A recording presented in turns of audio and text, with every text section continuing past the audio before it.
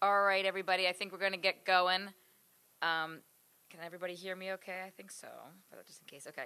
Um, I'm Johanna Sullivan. Uh, for those of you I haven't met or don't know, I'm the director of the Office of Public Safety at DCJS.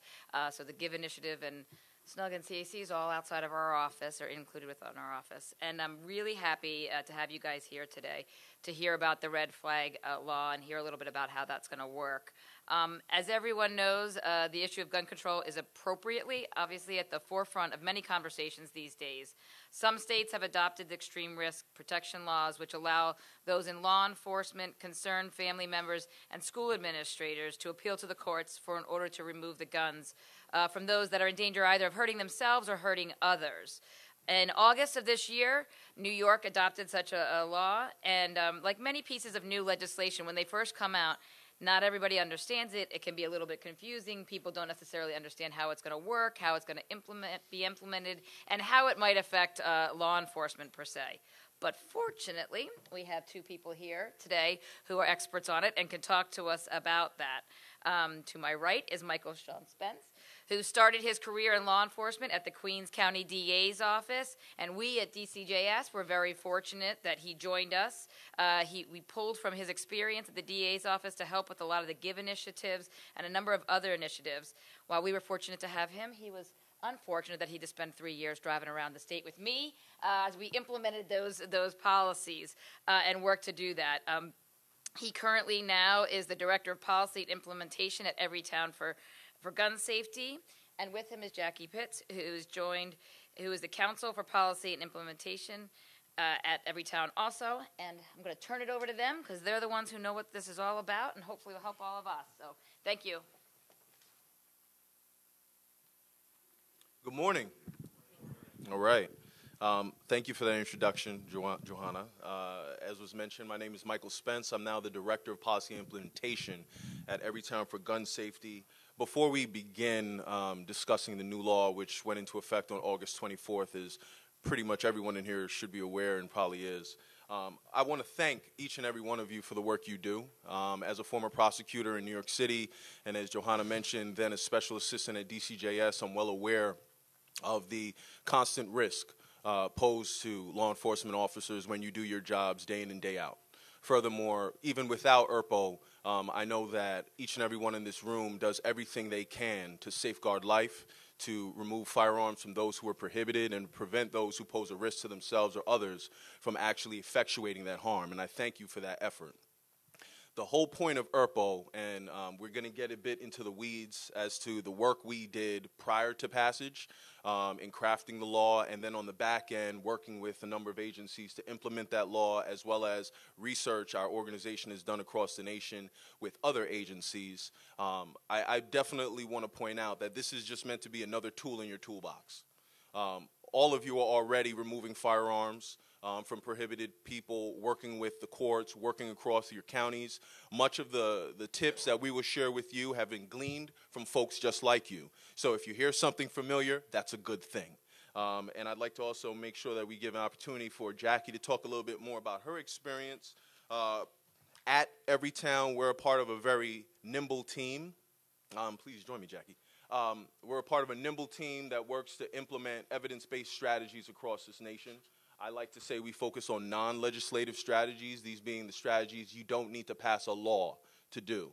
Um, I include implementation in that um, because that comes after laws have been passed okay? But we also talk about those other strategies that we implement in concert with local gun violence prevention groups. We work with mayors, governors, attorney generals, council people, as well as those local groups, communities, and survivors to make sure that they are locally informing all the strategies we work to advance. And Jacqui has some really creative work that she also leads. Hi, everyone. Oh. My name is Jacqui Pitt. I'm counsel in the policy and implementation team. Uh, a little bit of quick background. Um, I got my law degree in Australia. If you're noticing the accent originally, I was a federal litigator, clerked for a federal judge, um, and then really specialized in uh, domestic violence and now also removal of firearms and extreme risk protection order laws. Um, as you're all well aware, there's a lot of overlap between these laws, not only the people involved in many of these cases, uh, but particularly the mechanism, the, um, the temporary and final stage, the immediacy of the risk. Um, So it's a real pleasure to be able to bring that experience in domestic violence into this field in particular. Uh, a little forecast of what we'll speak with you today about. Um, we'll do a quick background about New York State's Extreme Risk Protection Order law. We're assuming that everyone here is familiar with the basics of the law. We want to dive into more of the details and best practices we see in other states. We'll also provide some lessons from research that has dived into how states have implemented these laws in the period in which they've been in effect. We'll also dive into some lessons from leaders in law enforcement across the nation. We'll also talk to you about working with unique stakeholders. New York's law differs from every other uh, state extreme risk protection order law in the country in that school administrators can also petition. We're going to talk about that. And we'll provide some tips for implementation towards the end. So, a quick background. I think everyone here is across the purpose of an extreme risk protection order law. The idea is to provide you, law enforcement, and the community with a tool to safely, temporarily, and lawfully restrict a person's access to firearms when they pose a significant risk to themselves or to others. Now, uh, under New York law, of course, there are uh, specific petitioners laid out here. We work as well in the drafting of these laws, in particular our state legislative team. And one of the most difficult practical as well as political questions in every case is who should be able to petition, who should be able to go directly to the courts, and who must go through law enforcement. In New York, the decision was that that would be law enforcement officers can go straight to the court, district attorneys, school administrators at the person's school, or a designee provided by the uh, school administrator, or a person's family or household member. Uh, we've noted here a little note about the drafting and passage of this law. Uh, and I think originally um, there was a lot of political will and a lot of interest in uh, any member of a school community being able to petition. I think for a lot of people, they think ERPOs and they think schools and school shootings. Uh, our advice there is always that you know, petitioners, we shouldn't open the, the uh, courts to a floodgate of every single person that might wish to file a petition. We wanted to uh, put the locus of um, ability to petition within that school environment purely as school administrators. So there's a hierarchy and a decision making process before paperwork is filed. Um, now, of course, as you're aware, it's a two stage process. Under a temporary order, uh, and you file a petition with a court, you would need to prove probable cause that the, uh, the person is likely to engage in conduct causing serious harm to themselves or others. And for the final stage, is clear and convincing evidence that's required.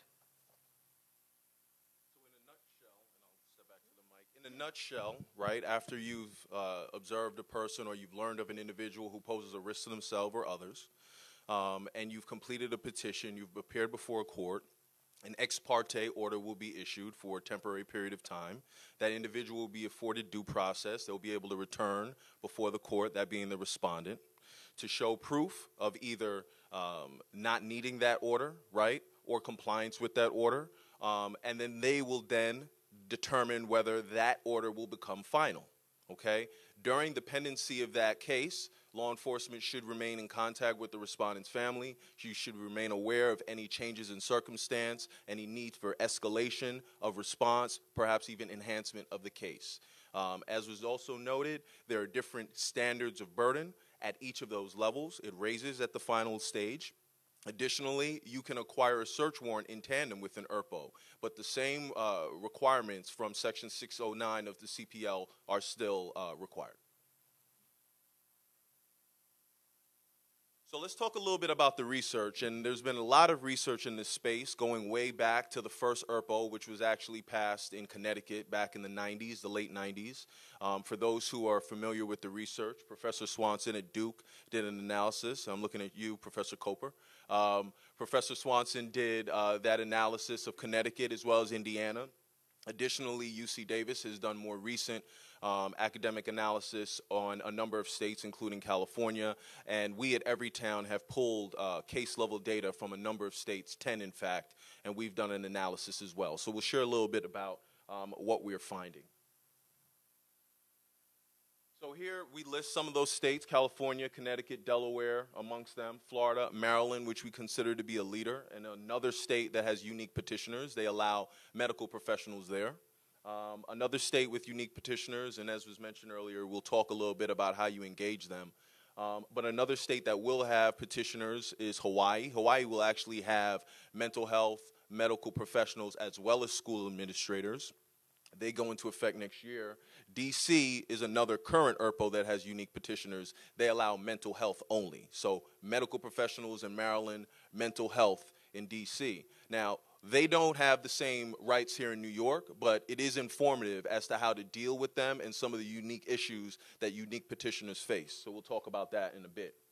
But what we've seen since January 2018 to 2019, um, 3,900 ERPO petitions, okay? During that time, we went from about 15 states in DC to now about 17 states in DC that have ERPO. So that's not reflective of the entire country. What we found that the vast majority were filed in Florida as well as in Maryland. Um, additionally, there's widespread utilization. In states with ERPO laws, about 72% of the counties have filed them. What we have also found, though, is that ERPOs have been concentrated primarily in a handful of counties, and we'll talk about that in a moment. Doing a deeper dive into the cases in Maryland, and I should also add, um, I had the opportunity to attend and participate in John Hopkins ERPO Summit in May, where we convened a number of law enforcement agencies from around the nation, where we learned much of this data as well. Uh, Maryland was present. Maryland, of their 568 cases, they had 285 granted. 161 were denied. And that was not because the pose, person did not pose a risk to themselves or others, but the judge themselves, going through due process, determined that it was not the correct action of the court to issue that ERPO. That, need, that does not mean there aren't other alternatives, and that's why I started the way I did. Because you have identified individuals like this in the past, and you've worked to remove their firearms and use other judicial means. All this means is that an ERPO was found by the judge to not be appropriate. 115 were di- dismissed for failure to appear. This means the petitioner did not appear. The respondent need not appear for it to be issued at the ex parte phase. Petitioner must appear to move the case forward. If they don't, the judge will vacate or dismiss. Five were appealed. Individuals said, I have a change in circumstance. It was issued. You should, re- you should uh, rescind it. You should reconsider my status. You should then change your decision. And two were simply rescinded by the courts. And what we've also learned across the nation is that frequently those circumstances do change. Individuals do take the next step, they do access mental health um, assistance. They do return to the court and they're able to prove that they're no longer posing a risk to themselves or others, at which time judges have, um, in our experience, then rescinded previously issued uh, ERPOs. Okay, so there were two particular issues that we wanted to dive into with the research. Um, the first was citizen utilization. And I think a, a, real question for many people in the room will be how often will I be required to file a petition like this? And by comparison, how often will people be comfortable going straight to the court by themselves? And what's the appropriate balance there? Um, not all states even permit citizens to file directly. Many require a petition to go via law enforcement. But here in New York, petitions uh, can be filed directly by individuals. So we, I guess our expectation was that citizens might be reluctant to file themselves. They might wish to seek the help of law enforcement. Um, they might be uncomfortable with court proceedings. They might not feel they have the knowledge, expertise, etc. So it was relatively surprising to see that, particularly in Maryland, one of the states with the most robust implementation, that citizens are willing to file ERPO petitions without assistance from law enforcement. In fact, in the petitions in um, Maryland, almost half were filed directly by citizens. Uh, you know, our hypothesis there is that um, while it's early, there's not a lot of data, and uh, particularly not a lot, of, a lot of survey data to really dig into this. Our hypothesis is that for some people, there's an, uh, perhaps uh, a belief that they can avoid the uh, potential criminal consequences by filing themselves. You know, ERPOs are a civil order, much like domestic violence. They might feel that by going straight to court and not involving law enforcement at the beginning of the case, that they really can um, take a protective step that they don't perceive as having such a strong intersection with the criminal justice system. Um, so we're very interested to see how that continues to play out, and we're very interested to see what the data looks like in New York on that point in particular. We also think that in Maryland there's been much greater uh, education of citizens to enable them to do that, and in other states where you see lower levels, perhaps fewer citizens are even aware that they have that ability. Our second interest was utilization over time. So, is this something that people have been waiting for and they already know about? Or do people take a little time to get comfortable with the idea of filing these orders? Um, and particularly in the context of law enforcement, is there sufficient training straight off the bat? Or does it take a little time for good practices to seep through? So with, there's not that many states with multiple years of reporting at this stage, but you know we dug into states that have had these orders for many years, California, Connecticut, Washington, and found that there is a very steady increase in petitions. I think the stat there is California. Um, you know we saw petitions triple between 2016 and 2018, and again there we expect that that's an increase in knowledge, an increase in comfort, and in good practices.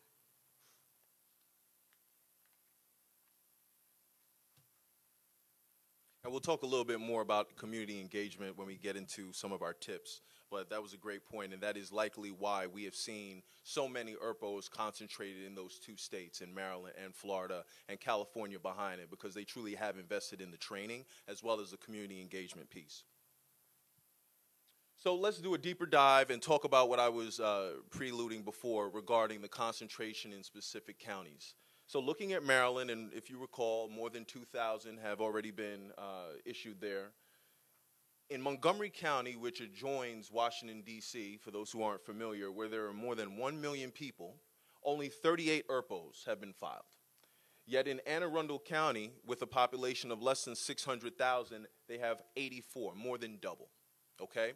What we've learned in this instance is that the population might not necessarily determine how busy you will be, but truly, it does go back to the community engagement, the training, the outreach, and the ability to identify the individuals who pose that risk. And Anne Arundel County has done a great job of it.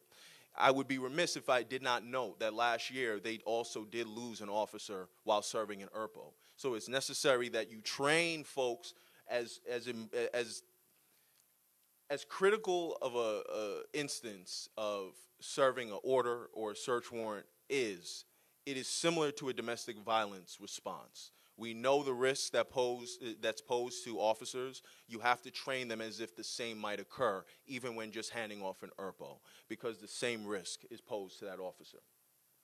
Uh, 2,369 ERPOs issued between March 28 and July 29 in Florida. That's notable because in Florida, only law enforcement can petition. So not one family member or friend went before a court. In every instance, it was a police officer and it was a sheriff. And I'll point to Pinellas County, which we'll talk a little bit more in a bit, but they are truly the leaders in um, Florida. The Pinellas County Sheriff's Office from Jump told every local police department, if you want to do an ERPO, you come to us first. We want to make sure we're tracking and aware of every individual, every ERPO petition, every issuance, every service, so we can track compliance, enhance, enforce, and make sure that we're all properly aligned. Of course, they bring locals to the table, they keep them engaged, but they've taken responsibility for it. And in a number of states, we've seen the most successful and highest levels of issuances in those areas where law enforcement has taken the lead. And that's what we recommend as well. As we mentioned earlier, um, Professor Swanson has done a deep dive into the ERPO data going back now 20 years. Um, and he's found that every suicide prevented by an ERPO for every 11 gun removals, which means they are saving lives. It's, it's a bigger picture than just removing that gun from that individual who poses harm to that one person or that one school. You're saving that individual's life and hopefully able to wrap that person in the services that can reintegrate them to put the guns down. Additionally, increased enforcement of the ERPO law was associated with a 14% reduction in firearm suicide as well. So it goes back to the same thing. In Indiana, additionally, a 7.5% reduction in firearm suicide. And every suicide was associated with 10 uh, gun removals. So they were even more effective in Indiana. Caveat Indiana's numbers should be looked at with a grain of salt. They do have very lax gun laws, which is unique and different from New York State. They had a higher flow of guns, so their data and their data analysis might be different than what we might find in a state like New York, where we have a lower flow of guns and we have better gun laws. but it's very informative, and this affirms that ERPO is a useful tool to prevent suicide, which we know is the vast majority of the gun related deaths in this nation, if not two thirds. So now we're going to talk a little bit about some of the lessons from leading states. I know we're running out of time, so we're going to try to move quick. Um, as we mentioned before, the first step is community engagement. Um, that's the first step. And here are a couple examples. San Diego City's attorney, before they began implementing their law, before it became effective, they began talking to gun rights groups. They started going over their process. They started sharing their paperwork. They wanted them to be comfortable with the due process that would be provided to firearm uh, uh possessors they were very, very happy with the process, and because of their participation in the implementation process, it actually got out to more folks. In Pinellas County, like I mentioned before, they engaged the courts and the community. They developed their own paperwork. They define they defined the process not only for themselves but for all law enforcement across the county, so that everyone was moving in a uniform manner. But ultimately, they were the uh, the hub on the wheel, and they were able to track and and, and monitor every respondent, every um, issuance to make sure they were complied with. Seattle Police Department they de- developed a video for respondents if you go on the Seattle PD website, you'll find a video of a detective going through the process of receiving a firearm, disassembling it, putting it into a box, walking it into the storage unit, showing how the firearm, which is personal property, will be maintained and how it will ultimately be uh, returned if that ERPO is then concluded and there are no other criminal actions against that individual. They find that that also made compliance higher because respondents felt as if they were humans. I, honestly, it's important that we recognize this is a civil process. These are not defendants. These are not people who have been accused of a crime most of the time, although we will talk about some instances where you can utilize it when they have been. But the vast majority are civil proceedings, and it is important to humanize the process to make people more compliant. And we've also heard from other um, agencies by simply calling the respondent, they would then come in simply saying, hey, you haven't brought that gun in yet. Oh, I'm sorry, I, I, have work. I haven't been able to get there, this, that, and the third. Well, would you like me to pull up to your job? Oh, and then they come in. And it's that quick.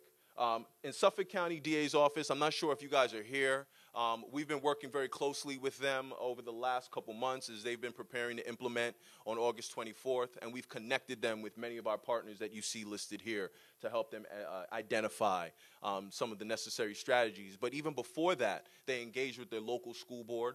They had a conversation with their school administrators. Of course, the Suffolk Police uh, provided the necessary assistance as they are more than capable of handling this on their own, as they have a great firearm relinquishment unit. But having those conversations were necessary prior to implementation. That makes sure everyone is on the same page, everyone knows what's happening, what they need to do to be effective in implementation. Um, ultimately, law enforcement is reliant on community being engaged to proactively identify individuals. Because as I mentioned before, frequently they will not be defendants. They will not be criminal justice involved. They will not be in your offices or in your jail cells. These will be folks who are in schools, who are in their homes, who are talking and writing and, and reading things that cause them to pose a risk to themselves, and their family members are best suited to identify that behavior. So, remaining uh, connected to the community will assist you in identifying those individuals before they harm themselves or anyone else. And of course, talking about the continued engagement, we have a couple examples as. Yeah, sure. So obviously, engagement and, implementation is an ongoing process. It's something you can do at the very beginning and then walk away from. Uh, so we've seen a number of states that have uh, rolled out really excellent public awareness campaigns at the beginning of the implementation of ERPOs, but also to um, re-up those as time goes on, so people are still aware of their options. But I think an important question always is when is information going to be uh, best received and when is it most useful? So what we really like to see out, um, out of Maryland responding officers who are trained in this, who have all this information at their fingertips, informing family members of their options at the time that they respond to a violent threat or to suicide risk. Um, you know, and the feedback from those officers was even if the family member isn't ready at that moment to request that an ERPO be filed, that's the time that they're thinking about it, that it's closest to the top of their mind, and that they will then go and file one in the future if when they've taken some time to think about it. Um, but that's the time that they need the information, not necessarily when they're just riding the bus. We've also really appreciated seeing times when attorneys general have put out guidance to law enforcement, um, again, showing engagement at the highest levels of government about how implementation is best done. So, the New Jersey Attorney General has done this, put out guidance about when law enforcement should consider taking over a petition. Perhaps you're aware of community members who are planning to file a petition themselves, go directly to court, but in your opinion, the public interest would be best served by law enforcement doing that, having the um, resources and the expertise of law enforcement in the courtroom. That kind of guidance is critical and also something that you as law enforcement can be making um, really informed decisions about day to day. And as I've been mentioning over and over again, interagency coordination, and um, I'll, I'll, just jump into the examples because King County is a great example. Um, back in 2015, uh, they had their first DV, DVRO law passed. In 2016, they identified that over 2,600 DVROs had been issued. Only 2% of the respondents had actually complied and given in their firearms. The following year, they convened a working group led by a retired judge with the PD, the county prosecutor's office, as well as the city attorney's office, and they began going to those ex parte hearings that I talked about in the beginning. They began standing up. They began telling the judge, oh, but you didn't know this about him. Oh, you didn't know that about him. Eventually, the defense bar got mad and said, you, you really can't do that. Um, they then went through the necessary process and were affirmed that they could actually provide an amicus brief based on the criminal history information they were aware of for that respondent and allow that judge to have that critical information at those critical decision points. They've continued to do that. They then began monitoring each of those issuances to see whether or not they were complying, what sort of information was being returned by the PD to the judge as statutorily required, because they had to provide a receipt when the firearm was given into the police. And they were able to identify gaps. They then created a unified team that still exists today. And since then, they've now dedicated staff within the DA's office, the police department, and the court to constantly generate that critical criminal history information for judges at their decision points, to monitor every case, every issuance, to also enhance when there was no compliance or a change in circumstances. By having that unified effort across a number of agencies throughout the county, it enabled them to not only do that, but to do it efficiently and to do it quickly in response to the dangers posed by these individuals. And I think that that's a critical lesson in what might be able to help each and every one of us in our different counties across New York State as we work to implement. Additionally, uh, I think a lot of the examples we've given so far have been the use of ERPOs as a single strategy, people that might not otherwise have been engaging with you or with your officers. But we really wanted to highlight the use of ERPOs as part of a multi pronged violence pre- prevention strategy, um, not to be used only as a standalone tactic. And I think there are two really telling examples of this. Um, the first comes out of King County, again in Washington. And there, the feedback we've had is that law enforcement officers are using ERPOs to bridge really dangerous gaps in cases uh, prior to arraignment, perhaps there's a protective order in place, but there's a real threat of um, access to guns and, and, use of guns. Um, so, a case example they provided to us was where a criminal defendant had been hospitalized after an arrest for threatening harm to his former employer. The criminal defendant, defendant had not been arraigned. Uh, and there was no protective order in place or an, no surrender order in place. So, to bridge the gap, Seattle law enforcement filed an ERPO. Uh, Again, a similar example out of San Diego in California. There, we had a criminal defendant arrested for assaulting his father, and in custody, he threatened to shoot a police officer. Again, law enforcement officials petitioned for an ERPO, received that, uh, and obtained seven guns, including three AR 15s that they were able to recover in that critical gap before the trial had been able to continue. Another example uh, occurred following the Harvest Festival shooting, which happened two years ago last week in Las Vegas. Um, an individual also in San Diego who was at work at the time watched the video of it, remarked to a coworker, um, "I wish he hadn't killed himself. Had it been me, I would have gone out in a blaze of glory." And then he said, "If I get fired, I'm coming back with a gun." The coworker told the supervisor. Supervisor told the police. They were able to get an ERPO, and he uh, voluntarily surrendered a semi-automatic rifle. So these are different instances in which an ERPO was another tool in the toolbox, not a necessary tool, but a useful tool to quickly dispossess an individual prior to the violence happening, prior to them actually committing a crime. And I think that that's another useful tool. Um, additionally, we'll get to the training and the resourcing. earlier this year, I was in Massachusetts. I was talking with a number of police officers, and it, it blew my mind that they were completely unaware of what this was one officer was completely unaware of what was in the law, what was required, and what family members were allowed to do, and their process as well. He was worried that he was going to have to field and assist families doing their own petitions, and he was unaware that he could do them himself. It is important that officers are aware of the tools in their toolbox, how they work, and how to access them, the benefits that they bring to them. Um, additionally, they should be provided the necessary resources. In Seattle, for instance, they don't go with the SWAT team in serious situations because using SWAT is defined as use of force, but they do engage with the SWAT team in Washington. I see a couple uh, furrowed brows. But in Washington, they will engage with the SWAT team and they'll have one of the SWAT members join them. So they'll work in advance to properly resource the officers so when it's a high stakes situation, they have the proper support and artillery resources. Additionally, it's as simple as the paperwork, right? Individuals who bring in a firearm, they need to be provided with a receipt. That receipt has to be served on the court. Until it's served on the court, that person is non compliant. So simply generating that paperwork and tailoring it to your community so it reflects your needs and resources as well as the demographics in the case you have to translate it into the top six language in New York State. Make sure you do that in advance so that people can access this tool when they need it. Oh, this is just a very quick note. We really encourage you to think about what happens after hours when courts are typically closed in your jurisdictions. So, um, in Maryland, courts are actually required to hear ERPO petitions after hours, and they really attribute that as one of the reasons why they've had such high numbers of filings, including by civilians.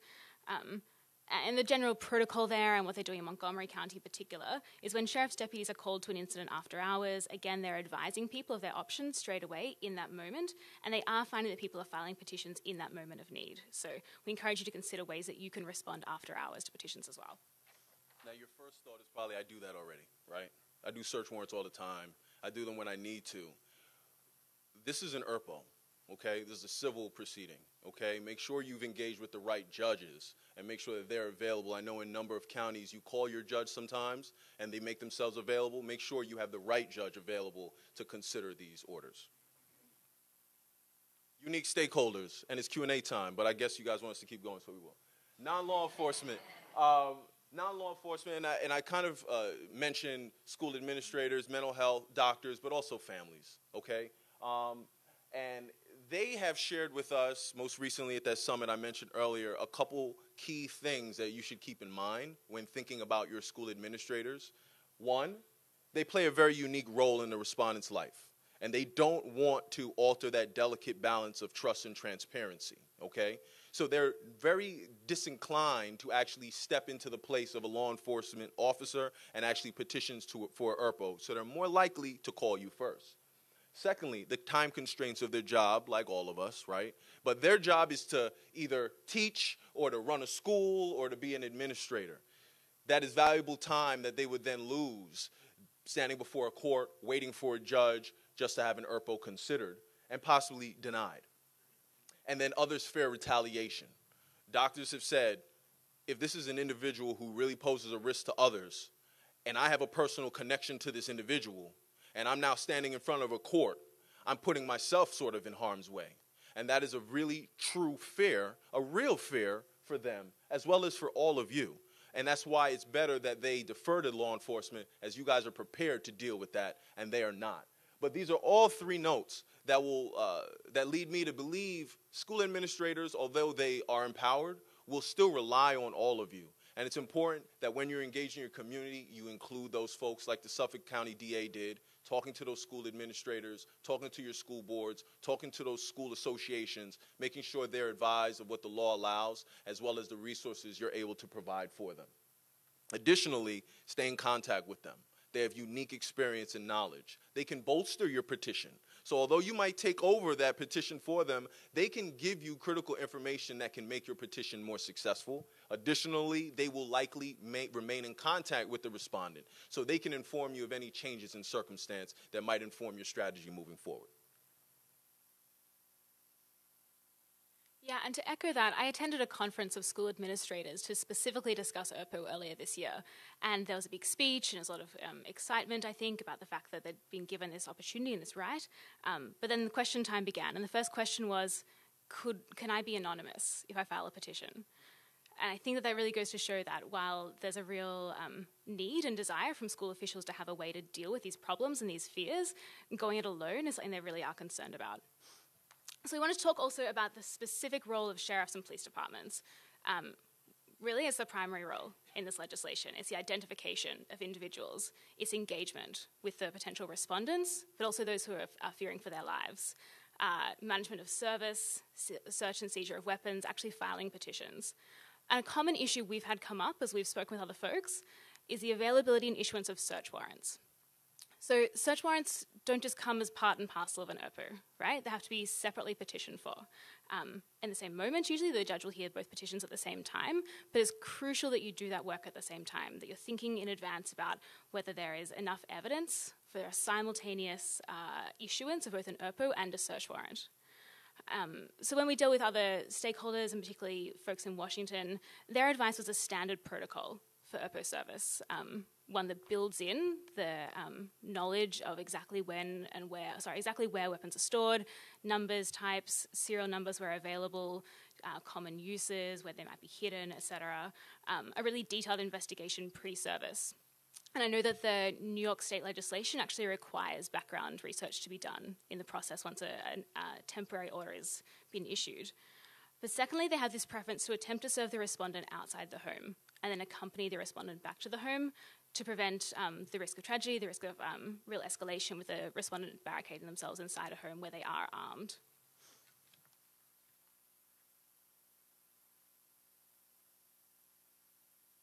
And prosecutors, uh, frequently when we have conversation with prosecutors about ERPO, they ask, and what's our role? This is civil. I don't do this. Um, but as we talked about earlier, there are instances where you may want to enhance your case. You may have an individual who poses a risk. Maybe they're in custody. They talk about how they're going to do harm to someone if they're released. You might have knowledge, and even if you don't have knowledge, they need not already possess a firearm for you to get an ERPO. You might want to prevent them from acquiring one in the near future.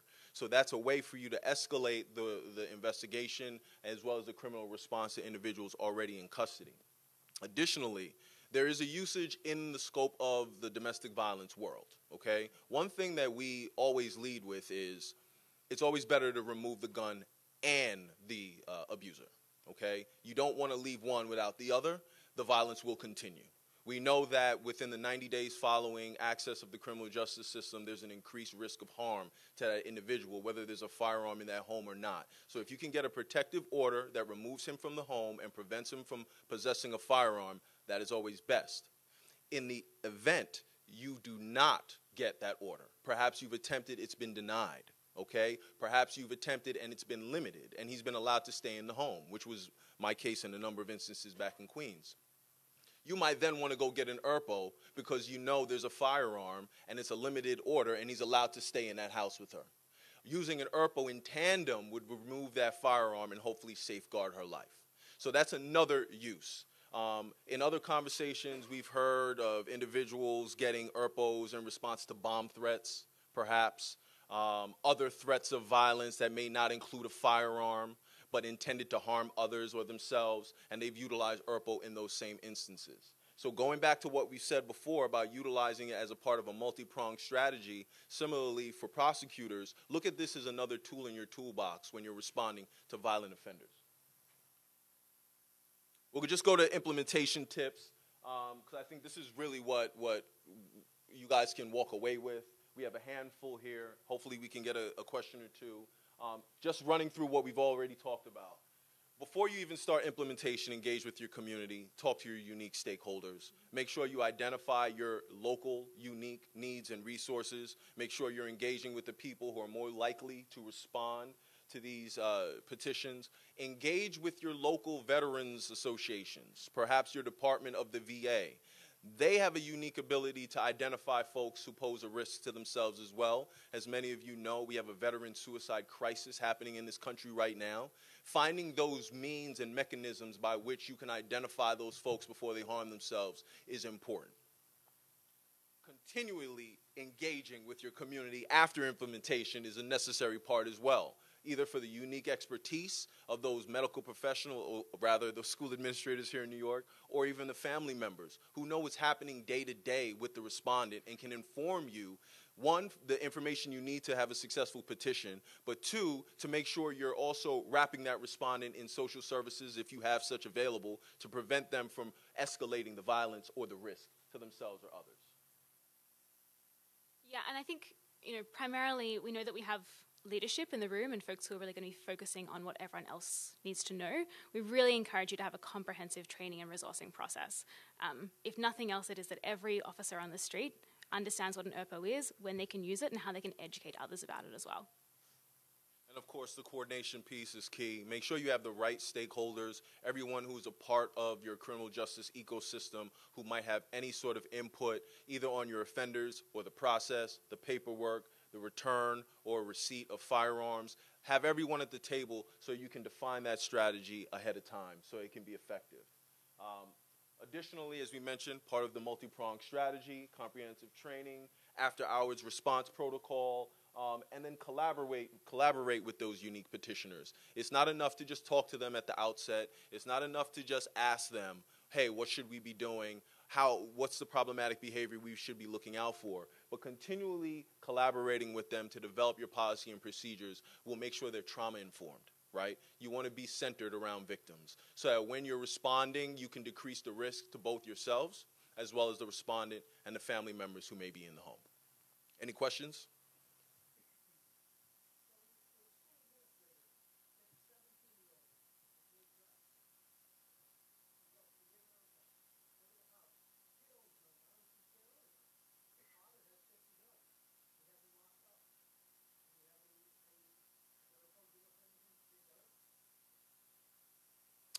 So there is a number of issues with that, obviously. Um, there's the personal property right of the dad. Um, in a number of instances, courts have had the father appear before the court to show proof that he safeguarded it and prevented the respondent from acquiring that firearm. So there is a number of ways that different jurisdictions might fashion that sort of solution, whether that is to remove the firearms, have that individual appear at the court, and then make that sort of uh, articulation before having them returned to a lockbox off premises, or whether it's to leave them and work with your courts in advance to come up with some other process. But that is a hairy situation, and most likely you will need that, that father or mother, who's uh, the possessor, to put them in a safeguarded location outside of the home. But you need not necessarily take it away from that person.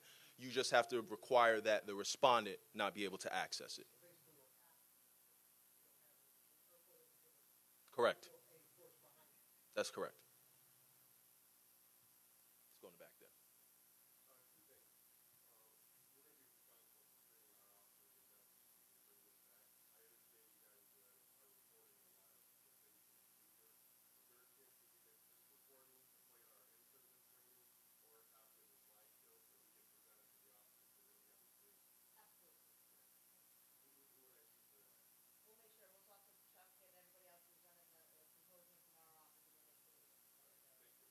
And in addition to that, on November 13th, both of us will be in California.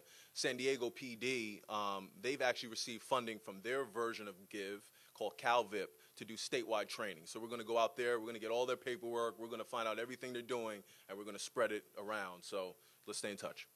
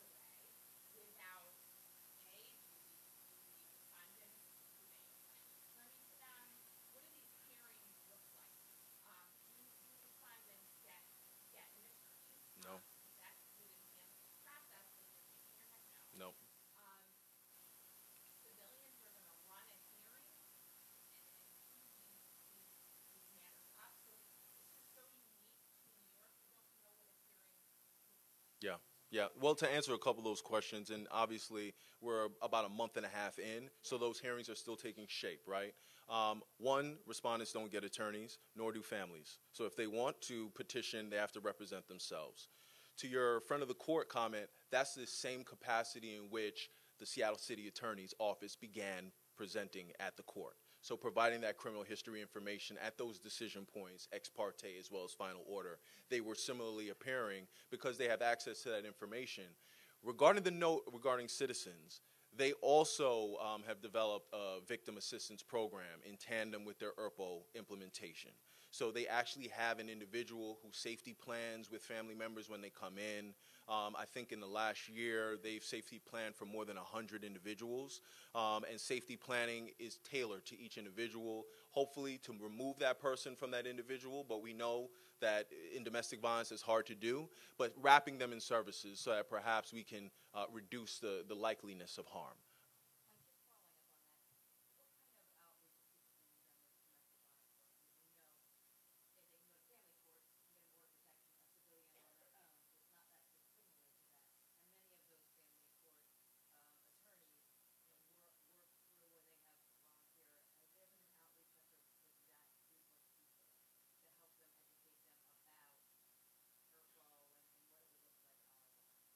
Well, I know in Seattle, their local DV organization was actually a part of their task force going into the courts. They were a part of the development of their policies and their procedures. They were considered uh, local stakeholders that needed to have input in the process. And I would recommend that whether it be domestic violence or veteran associations, you identify those nuanced communities within your county that you want to engage with so you can afford them the access to this tool. But yes.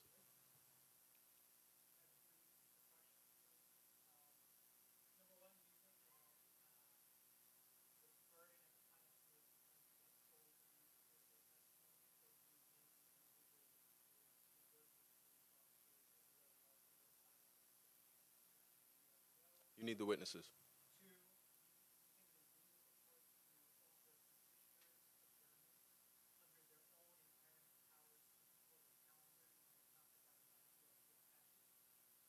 Was the respondent present? But they weren't able to complete the hearing, maybe due to a need for additional witnesses or hearing?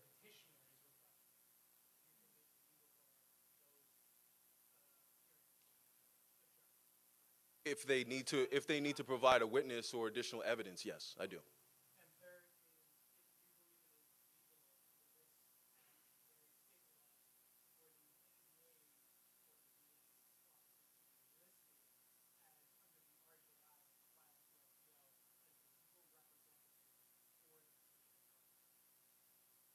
I believe that is the way it happens here in New York State. Um, so yes, I, I do believe it's statutory.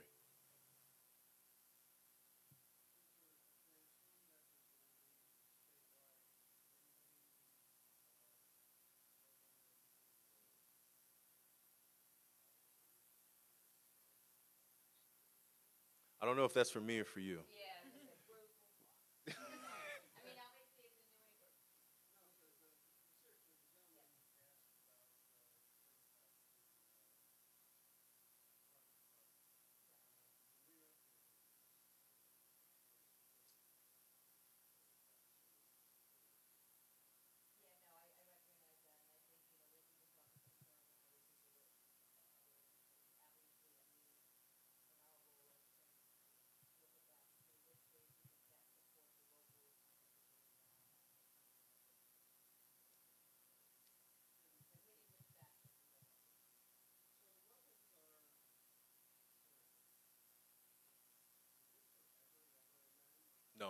no. It's only for the pendency of the actual ERPO.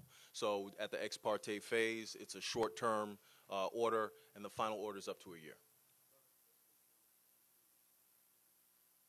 Yes, and that would be forever. Last question. I think we're at time.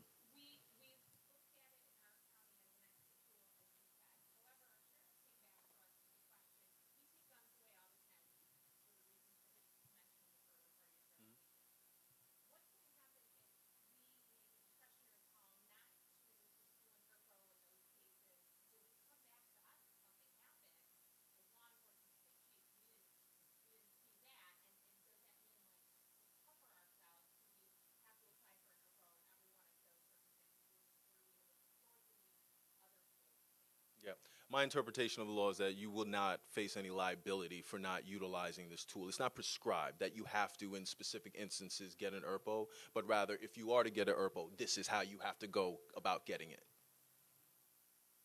Thank you.